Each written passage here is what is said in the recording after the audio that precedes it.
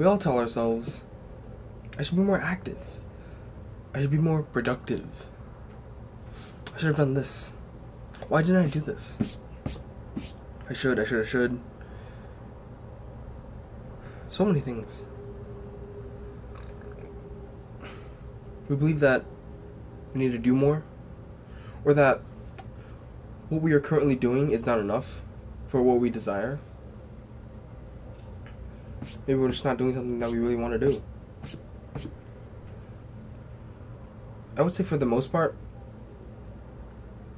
given this, we know exactly what we need to be doing.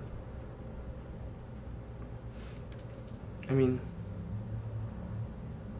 you know when you fucked up and should apologize.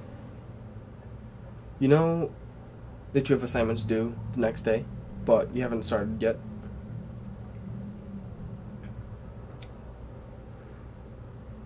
You know what you need to do.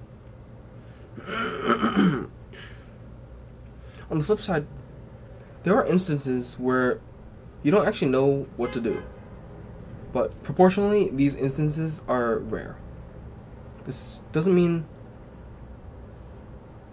the quantity is necessarily small, just that in comparison to the times that you do know what you need to do, it's small. It's like, say, a 100 to 1 ratio. Out of the 100,000 times that you do know what to do, you have a thousand times that you actually don't. To be honest, that ratio might be bigger. The thing is, you don't need to be lectured on what you need to do. And I feel the most strongly with this because I felt it. You know, the whole parents lecturing you. I got lectured about what I needed to do. And at the moment, they were right.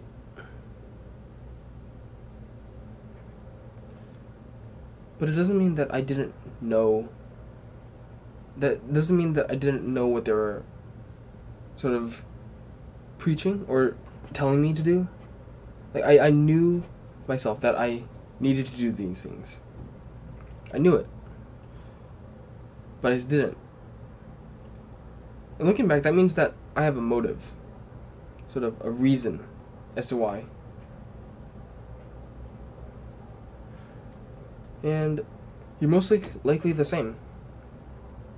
You have a reason as to why you procrastinate fear of failure, perfectionism, or maybe not even knowing when to start, or where to start, or how to start.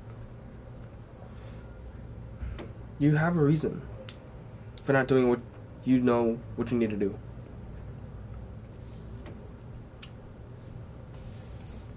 So explore that reason. So with this video, I am technically lecturing. I mean, there's no way around it, right? Because talking to, not you really, but a camera. So really, I'm just lecturing to myself. But I would like to think that it's a different form of lecturing. I'm telling you that you know what you need to do. And therefore, do it. Ask yourself, why do you stop? What is your reason? Seek to understand. There are times when you will you'll hate yourself for procrastinating. And that's I don't want to say natural, but it's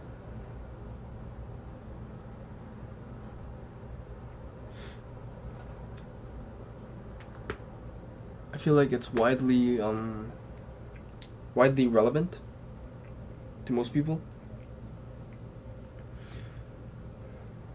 And the thing is, by hating yourself for procrastinating, what you're doing is just you're being your own parent again. You're not seeking to understand, like, you are replicating what your parents did to you. And if that has happened to you, did that change anything? Unless it got really extreme, I doubt it. it didn't really change anything. You just continued on doing stuff.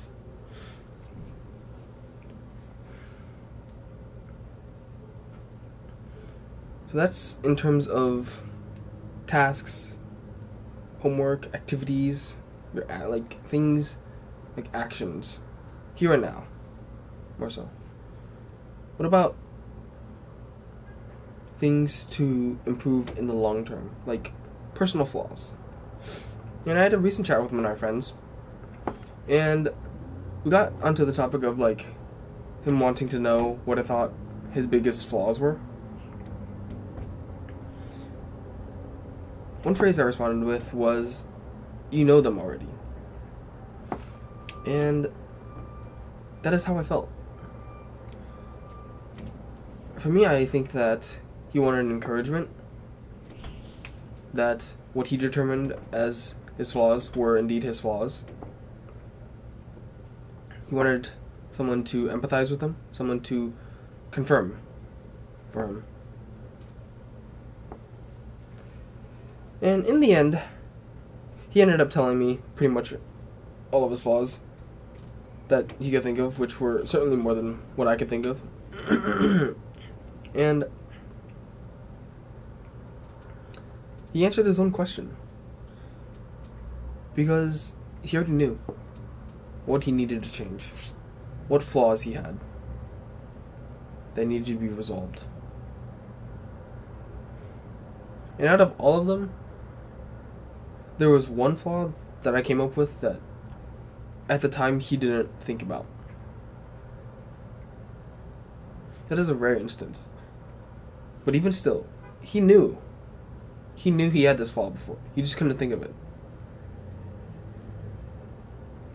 I think that's different than not knowing what to do.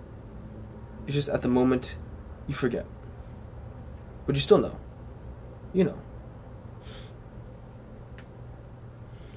What if, on the off chance, you are indeed missing something? I want to reiterate most of the time, you aren't. Your mind is incredibly good at hiding or ignoring things. oh, you don't need to apologize because they understand your intentions. You know, it isn't you that all of your girlfriends broke up with you. It isn't your fault that you're lonely and have no friends. All of these are excuses that your mind makes to convince you that you don't need to do anything. And it is incredibly successful.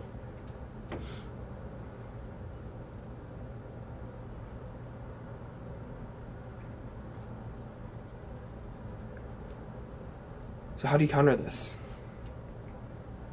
Adopt extreme responsibility. Concept, I believe, from Jocko Willink Someone named Jocko. I forgot his last name though. it's taking responsibility for everything in and beyond your life.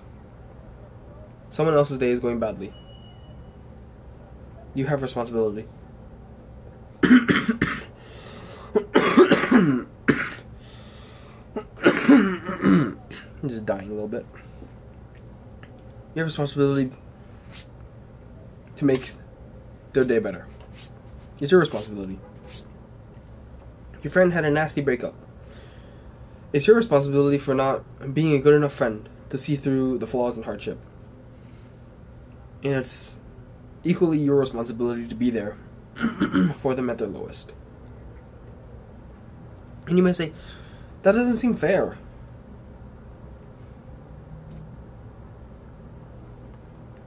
Maybe it isn't. But why should it? If you made excuses and put blame on others for the majority of your life, why shouldn't you accept more responsibility? It's your turn to swing the other way. You haven't taken enough responsibility.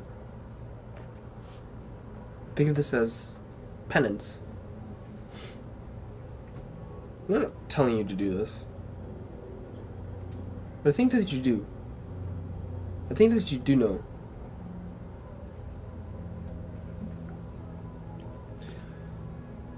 And what about the rare cases where you actually totally don't know what to do or you don't know about a specific flaw?